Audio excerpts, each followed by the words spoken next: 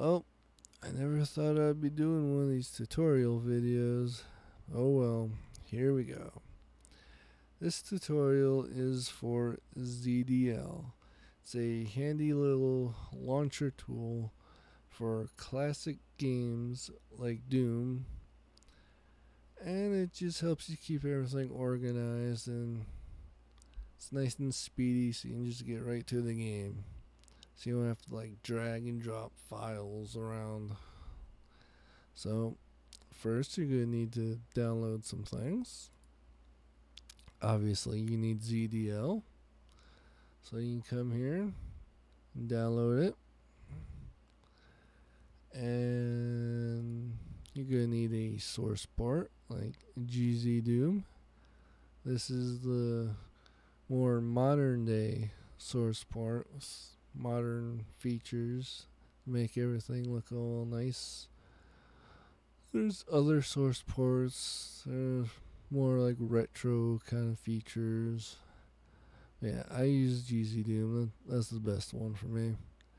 So yeah, you can go around, you can test out other ones, you know, see what the best one is for you, but GZDoom's the best one for me. So I'll leave the links in the description so you can download these things. And now let's check out ZDL. Alright, here it is. It's a simple little tool. But first we need to set it up. So up on the left here, click on settings. On the left side we have the source ports and on the right we have the actual games. So you just go to steam or gog and you can buy the games. They're cheap you know like five bucks. So you buy the game you install it and you want to find the wad file the wad file here you know doom wad doom 2 whatever. So install the game you get the WAD file. That's all you need. So you can uninstall the game after that. Just grab the WAD file. So then you want to make like a Doom folder, right? And keep everything Doom related in that folder so you can easily get to it and you won't have to hunt it down across your computer.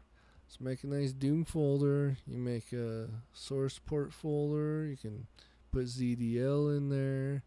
You make a mod folder, a level folder. So keep everything together in one place so you can easily get it. So to put these things in, you just come down, you hit the add button, you name it, you know, Doom, Doom 2, whatever. Hit browse, you find the the WAD file, in your WAD folder, in your Doom folder. And you hit OK. That pops it in there. Then you come over here again, you just hit add, name it, GZDoom, whatever. Hit browse, locate it, hit OK, and that's it. You're all set up. Back to the main page. See over here we have the source ports. So you can switch between source ports like some mods or level packs actually require a specific source port or version of a source port. So it's good to have all these different ones here. So you can easily switch between them here. And then here you have your different games. So you just choose your source port, choose your game, you hit launch, and that's it. You're playing the game. Now, if you want to do mods and level packs, that's what the left side here is for. Again, you just hit add, and you go to your fo folders here, your mods, your levels. You just pick one, and there you go. You you got your level pack, you got your source port, your game. You hit launch, and that's it. So now you're probably thinking, oh, this is going to be a pain in the butt. Every time I want to play a different map pack or a different mod, I'm going to have to rearrange this. That's gonna be a pain. But no, it's simple. Again, like I said, you make your Doom folder, you keep everything together. It only takes a few seconds to click here and there and pop a few folders, files in there. That's it. Doesn't take long. And say you have a specific setup you want, like, oh, I really like this map pack and I really like these mods. You can, you know, set it up, you know, put your files in here, get it all set up, and you come down here to the ZDL tab and you can save it. So then, if you ever want to play your favorite little setup again, just go to your saves, click, and boom, there it is. So you can save all your different little setups for specific mods or map packs, and you can just simply switch between them. So you don't have to do it every single time, you know. Yeah, if you keep everything in your Doom folder together, then yeah, it only takes a few seconds to set everything up. So it's not that hard. And once you've done it a few times, you get used to it. Anyway, now we have to talk about a mod order.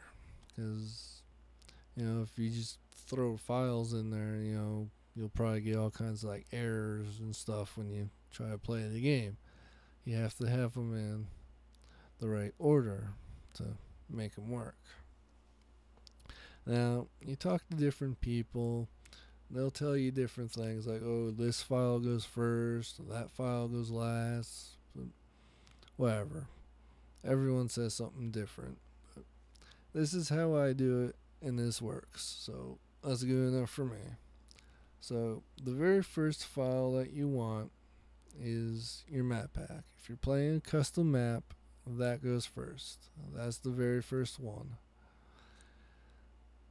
And after that is your gameplay mod. So say you got Brutal Doom or Project Brutality. You know, the gameplay mod goes second.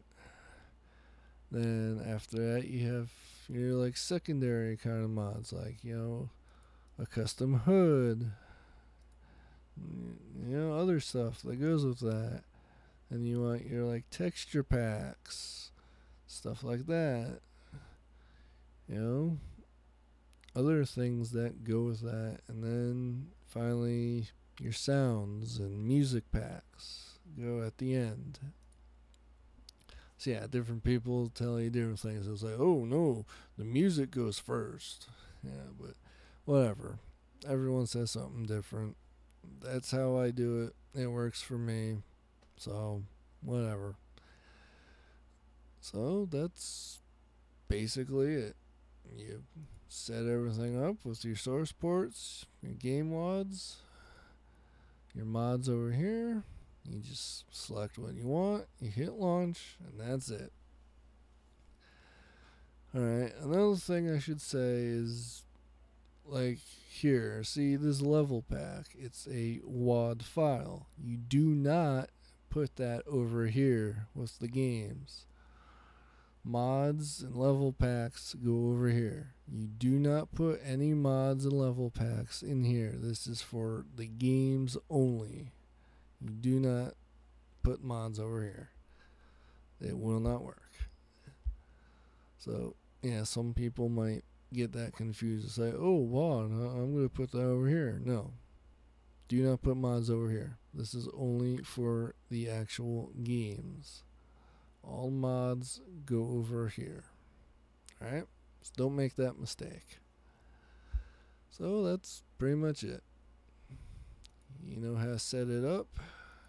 You know how to put your different mods in. You know how to select source port in game, hit launch, and that's it. And you can save and load different setups. Simple, easy to use, makes your life a lot easier. So you don't have to drag files around to drop them onto a another file. Ugh, it's pain in the butt. So yeah, ZDL, simple, easy, fun. So now you can go out, get your Doom, other classic games, and play your mods, have fun. So yeah, that's it. Have fun playing your classic games. Bye bye.